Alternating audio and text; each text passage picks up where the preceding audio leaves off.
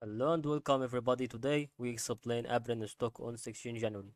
Let's start with the steps in this video about how can we know the price prediction and the analysis that can be concluded in this video. Okay, let's see what would be things that is absolutely the things that can be indicating for the price prediction since we can have the point here.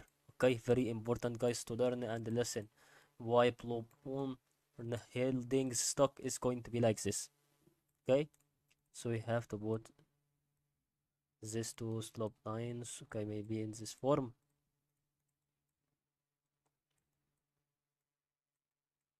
Because since we don't have this kind of stock, we see that it's going to be things that is matters, but I think if it matters, it should be in this form like here and then we have to see that increase would be for this and for this.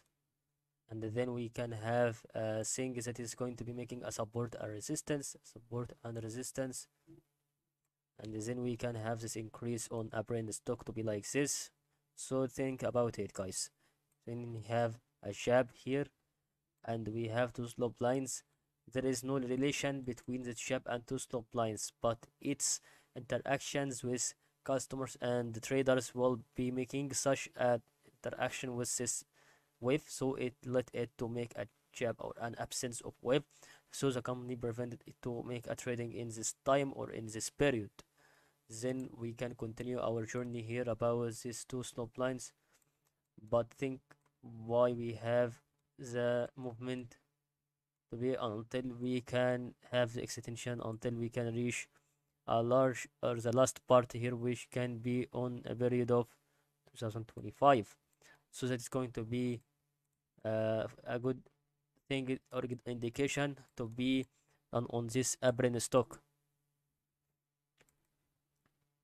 Okay so let's go for those two slope to the trend line sorry. And then we have to know that it goes thing to be in this increase and decrease and then increase again and then decrease because it is going to be the cycle of the apprentice stock to be like this if we think it about it on those two trend lines. Okay?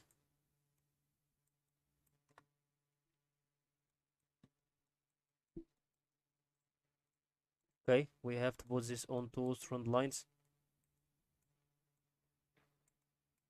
we have this repetition in between uh, a level which is going to be upper than 0 0.5 okay? We have to put this on this trend line right here. And then we have to think about it uh, when we can bootstrap fragment it can give us the reality of what happening for those two trend lines or three trend lines okay? If we put it in a smaller part okay we put it in the bottom side here. Okay we see that red trend red trend line and the yellow one and the heavy green one that we drew here. Maybe we can see uh, that we have to put this trend line on the light green one instead of the heavy green one. So we have to see that on uh, maybe if we have to see that it's not going to be accurate. We have to edit it. We have to search about where is 0 0.5 Fibonacci level it's going to be on this level. So you have to put it two trend lines between this level which is going to be between 0 0.382 Fibonacci level and 0 0.618 that is very important guys to learn and to listen why we have to put like this. That is because that is a part where we have a lot of rebounding parties. Maybe if we put it lower a little bit okay maybe here okay. It can give us an indication that is a part where we have to uh, take care about okay. When we have okay if we put it again because I moved it a little bit okay it's not uh, it's not uh, going to be much accurate than you think because that we need all we need to know about is this value which is going to be happening between those two trend lines which is going to be about a value of 10 USD and 6 USD. A lot of rebounding parties is happening here. So since we can see that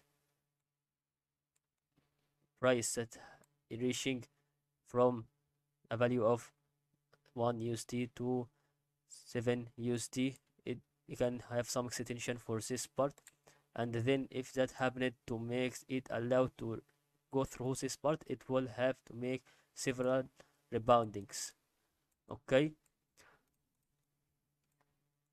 We have to put also in consideration another thing that helps us to know whether this can help brain stock or Blue Apron holding stock to move in increasing form or it may decrease a little bit and then it can be stretched in a lower value so we have to take care if you are investing on this stock because here if we think about the price that happened from 1 USD 21 cents it decreased until we have reached 1 USD 1 cent. So 20 cents difference is going to be around this part.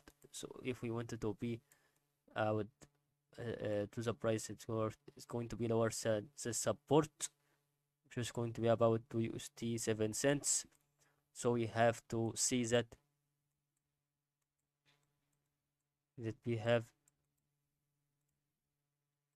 two trend lines here. This is going to be very well indicating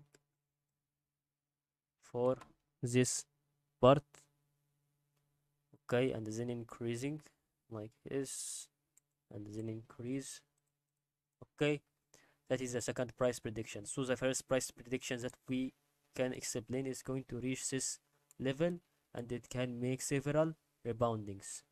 Second one would be the moving in this form and it may increase from the lowest part to make such a spike or a regular increase. Third price prediction may be related to the movements that happened during this movement. So if we put two slope lines that is going to be absolutely the moving in a slope way. So that is going to be a prediction about this movement in inverse process. Okay? So we have to put this on a third price prediction. Okay. That is absolutely the thing that I can notice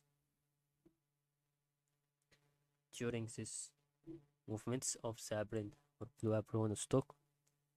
Okay guys, if you are enjoying this video, if you have enjoyed this video also, don't forget to subscribe and see you next episode about Blue Apron Holdings stock.